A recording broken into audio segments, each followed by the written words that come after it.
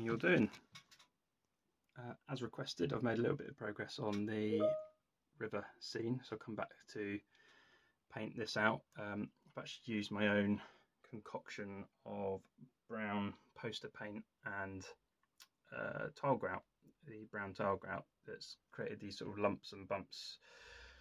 Used a bit of green, dark, brown, bit black in the middle uh, to kind of create that depth hopefully that's coming out okay on the camera. I think it looks okay from here. Um, I think so.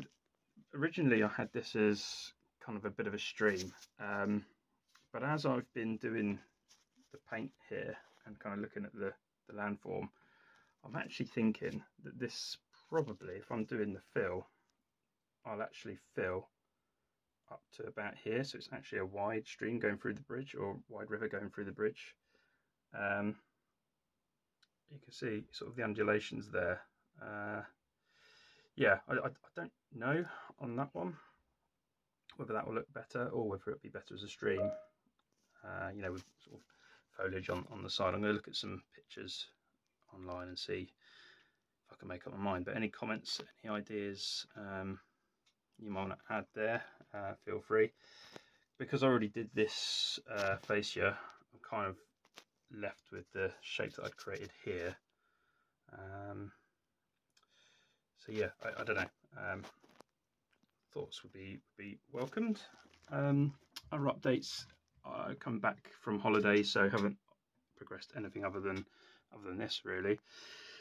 Um, I think last time round I was talking about this power thing. Thanks guys for your comments. This um, this fish plate here potentially might get a snip in order to break the uh, connection between uh, uh, what's basically happening. I'm pretty sure this point here is uh, is one of the dodgy Hornby ones. I was looking up on a Hornby forum um, that was saying there was a batch of Hornby points that had a broken uh, connection. Um, I think somewhere somewhere in here there's like a little um, there's, there's a mix, up, mix up on some of the batches.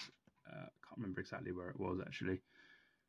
yeah, I think it's in here. So the the it doesn't matter whether or not I set set it straight or or not. Um, you end up with power going into this this other section. So the both of these lines are essentially powered um, at all times, which you know if it was DCC would make complete sense. But um, yeah, because I'm DC, it creates a bit of a problem where I've uh, it's quite good and it's quite bad. I've got trains that can run uh, you know, side by side. It looks looks okay it's not what I wanted. So what I was trying to do was get um, to a point where I could create a switch. So if you saw my other video, I was going to use a switch to essentially isolate this uh, part of the track or turn it on. So whilst if this was all straight across, which it is now, this theoretically, well, not theoretically, it shouldn't be powered. So with it not being powered uh, and, and then having a switch here, we then power this whole straight.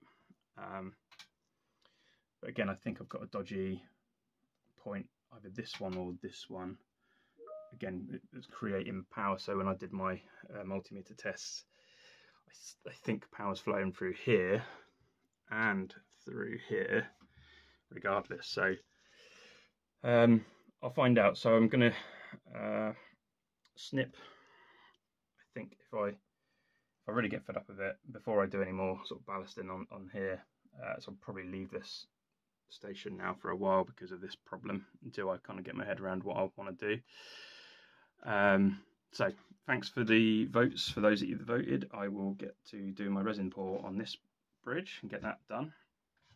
Uh, I'll probably then move over to, oh yeah, a little bit of an update. Uh, I don't know if I'll put the video out before or after, but I've painted, I've used my um, airbrush to paint the grass, which was created using uh, hanging basket liner.